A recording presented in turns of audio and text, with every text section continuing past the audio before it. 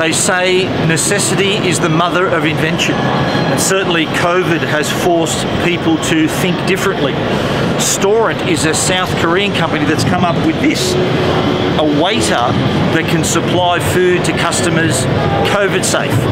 And not only do they make the waiters, which take the food automatically from the kitchen to the tables, they make the tables as well. They use hydrogen water to disinfect the tables and everything in the restaurant, but also the tables have airflow so that to keep the, the area safe from COVID and any, any other bacteria. If you do want to dine out in future, expect to see robots like this delivering the food to your table.